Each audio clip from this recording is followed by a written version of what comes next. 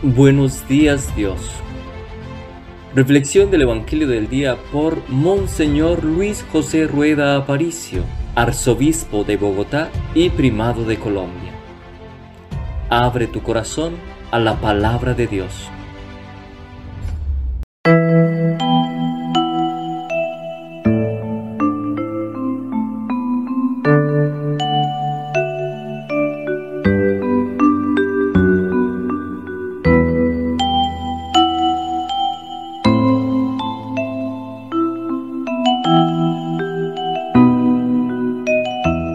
En el nombre del Padre y del Hijo y del Espíritu Santo. Amén. Alabemos a Dios que en su palabra nos revela el designio salvador y digamos en súplica confiada, renuévame por dentro, mi Señor. No cerremos el alma a su llamada, ni dejemos que arraigue el desamor. Aunque dures la lucha, su palabra será bálsamo suave en el dolor. Caminemos los días de esta vida como tiempo de Dios y de oración. Él es fiel a la alianza prometida si eres mi pueblo, yo seré tu Dios. Tú dijiste, Jesús, que eras camino para llegar al Padre sin temor. Concédenos la gracia de tu Espíritu que nos lleve al encuentro del Señor. Amén. Lectura de la carta a los Hebreos capítulo 7. Hermanos, Melquisedec, rey de Salem, sacerdote del Dios Altísimo, cuando Abraham regresaba de derrotar a los reyes, lo abordó y lo bendijo, recibiendo de él el diezmo del botín. Su nombre significa Rey de Justicia y lleva también el título de Rey de Salem, es decir, Rey de Paz. Sin padre, sin madre, sin genealogía. No se menciona el principio de sus días ni el fin de su vida. En virtud de esta semejanza con el Hijo de Dios, permanece sacerdote para siempre. Y esto resulta mucho más evidente si surge otro sacerdote a semejanza de Melquisedec, que lo sea no en virtud de la legislación carnal, sino en fuerza de una vida imperecedera, pues está atestiguado, tú eres sacerdote eterno, según el rito de Melquisedec.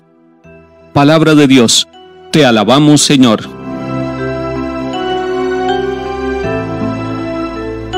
Volvemos a la figura de Melquisedec. Es muy interesante esta figura, es llamado rey de Salem y es sacerdote del Dios Altísimo. Dijimos que en el capítulo 14 del libro del Génesis, ese momento en el cual Abraham y Melquisedec se encuentran en el camino de la vida. Viene Abraham de ser triunfador, de derrotar a los enemigos. Se acerca Melquisedec y lo bendice, pero por su parte, Abraham le ofrece el diezmo del botín. La carta a los hebreos nos explica que el nombre de Melquisedec tiene un contenido, es rey de justicia, pero también es rey de paz. Cristo es el nuevo rey de la justicia y el nuevo rey de la paz. Se nos dice también que Melquisedec era sin padre, sin madre, sin genealogía. En cambio, Cristo sí tiene genealogía. Sabemos que Cristo es el Hijo de Dios Padre, que fue engendrado desde siempre y que se encarnó en el seno de la Virgen María. Cuando nosotros leemos el capítulo 17 de San Mateo, encontramos la genealogía de Jesús, porque a diferencia de Melquisedec, Melquisedec no se sabe de dónde viene, ni se sabe tampoco el fin de su vida. En cambio de Jesucristo, el sumo y eterno sacerdote, sabemos que viene de Dios Padre, sabemos que a través de la familia de María y de José, tomó casa para vivir entre nosotros, pero además sabemos cómo fue el fin de su vida. El fin de su vida fue una entrega amorosa en la cruz. Y además sabemos que Cristo no terminó en la tumba, sino que resucitó y que está vivo y que está en la presencia de Dios Padre. La semejanza entre Jesús y Melquisedec es una semejanza en el sacerdocio, pero sabemos también que hay una gran diferencia que nos encontramos en Cristo Jesús ante el verdadero Rey de la paz, ante el verdadero Rey de la justicia, el que cumple la voluntad de Dios Padre, el que entrega su vida por nosotros. Hoy tendríamos que pensar en Cristo que se hace presente en todos los continentes a través de los sacerdotes y a través de los sacerdotes en el altar. El pan y el vino son la presencia del sumo y eterno sacerdocio de Cristo que se sigue actualizando, que se sigue entregando por nuestra salvación. Así como Melquisedec le salió al camino de Abraham cuando venía de derrotar a sus enemigos, Cristo Jesús nos sale y nos encuentra en el camino de la vida y nos da su cuerpo y nos da su sangre para que nosotros nos alimentemos y continuemos el camino que nos lleva a la casa de Dios Padre. Decimos que ninguno de nosotros los sacerdotes nos podemos comparar con Cristo Jesús y ni siquiera Melquisedec puede compararse en la dimensión con Cristo, porque de Melquisedec no se puede decir que se ofreció a él mismo. En cambio, Cristo sí ofreció su cuerpo y su sangre por amor y para la salvación de todos nosotros. Hoy Jesús en la Eucaristía se sigue ofreciendo por usted y por su familia, por su trabajo, por su salud y sobre todo por el perdón de sus pecados. Él se sigue ofreciendo por nosotros. La Eucaristía, milagro de amor, sigue actualizando el sacrificio redentor del sumo y eterno sacerdote que tenemos en favor nuestro y que nos da la paz y que nos da el perdón. Sintamos la alegría de ese sacerdocio de Cristo y sintamos la alegría de que a través del sacerdocio ministerial dentro de la iglesia, Cristo se hace presente en el altar para entregarnos su cuerpo y su sangre. Salmo 109 Oráculo del Señor a mi Señor, siéntate a mi derecha y haré de tus enemigos estrado de tus pies. Desde Sión extenderá el Señor el poder de tu cetro, somete en la batalla a tus enemigos, eres príncipe desde el día de tu nacimiento entre esplendores sagrados. Yo mismo te engendré como rocío antes de la aurora. El Señor lo ha jurado y no se arrepiente. Tú eres sacerdote eterno según el rito de Melquisedec.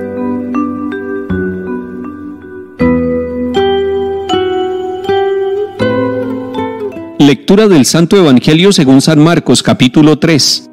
En aquel tiempo entró Jesús otra vez en la sinagoga y había allí un hombre con parálisis en un brazo.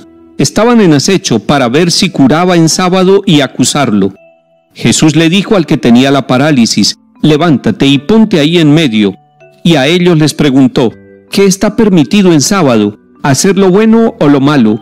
¿Salvarle la vida a un hombre o dejarlo morir? Se quedaron callados, echando en torno una mirada de ira, y dolido de su obstinación, le dijo al hombre, extiende el brazo. Lo extendió y quedó restablecido. En cuanto salieron de la sinagoga, los fariseos se pusieron a planear con los herodianos el modo de acabar con él. Palabra del Señor. Gloria a ti, Señor Jesús.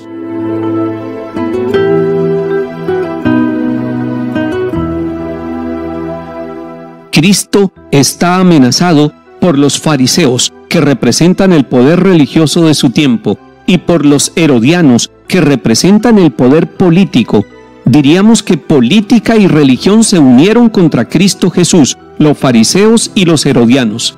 ¿Y por qué se unieron? ¿Cuál es el delito que el Señor ha cometido para que fariseos y herodianos busquen acabar con él?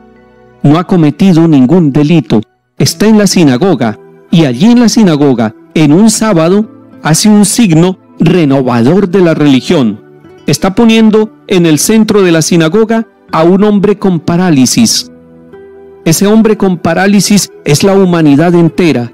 Ese hombre con parálisis somos todos nosotros cuando estamos paralizados por el pecado, por las esclavitudes de nuestra vida. Y el Señor quiere liberar toda esclavitud del ser humano. Una religión de liberación, una religión que hace lo bueno, que da la vida, que da la paz, una religión que hace salir del hombre o de la mujer lo mejor que tiene, lo mejor que ha recibido de parte de Dios para ponerlo al servicio de su progreso personal y del progreso comunitario. El Señor sabe que es sábado y sabe que hay la prohibición de hacer unos actos en sábado.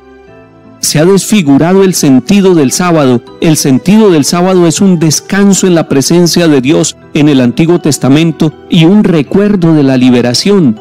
Y si el sábado es el recuerdo de la liberación, ¿por qué no liberar del mal a un ser humano? ¿Por qué no salvar a este paralítico que ha vivido esclavizado y que no puede desarrollarse como persona? Por eso Jesús les pregunta, ¿qué está permitido hacer en sábado?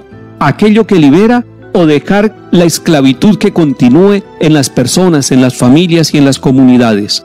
La verdadera religión, la que nos propone el Señor Jesús, es la religión de la fraternidad, es la religión de la misericordia, es la religión de la vida y de la paz que nos lleva a construir la realidad social y la realidad personal en un camino de libertad. Que el Señor Jesús nos mire con misericordia, abra nuestro entendimiento y nos ayude a romper todas las ataduras que con apariencia religiosa no nos dejan caminar al encuentro, al abrazo pleno con Cristo Jesús y con todos los hermanos. Que el Señor nos bendiga y acompañe en el nombre del Padre y del Hijo y del Espíritu Santo. Amén.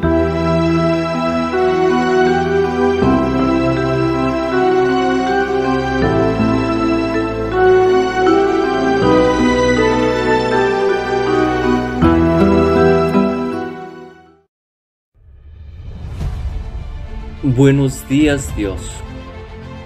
Reflexión del Evangelio del día por Monseñor Luis José Rueda Aparicio, arzobispo de Bogotá y primado de Colombia.